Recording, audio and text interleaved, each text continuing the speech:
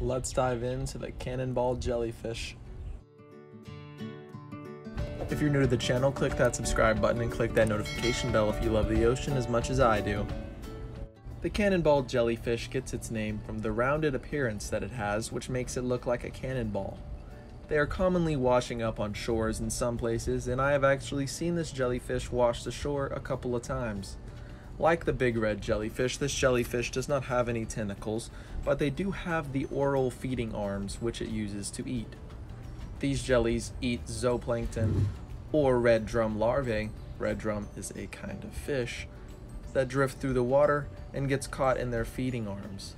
These jellies can produce asexually and sexually, depending on whether or not the animal is fully developed. Once the animal is a single polyp, earlier in the life cycle, it reproduces asexually. But when it is a medusa or later in the life cycle, the jellyfish state, it reproduces sexually. They are one of the least venomous of all jellies, and they grow to about 10 inches in diameter. The jellyfish can release a toxic mucus when it is threatened, or it can use this mucus to help secure prey, oftentimes trapping the prey and making it easy for the jellyfish to obtain.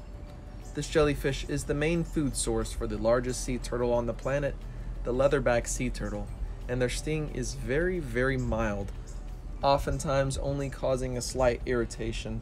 However, if you do get stung in the eyeball, that would be a different situation.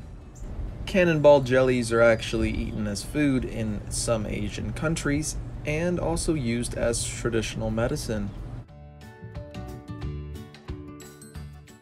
If you all enjoyed this video, make sure you give it a thumbs up, smash that like button, and comment what your favorite thing you learned about this jellyfish is down below.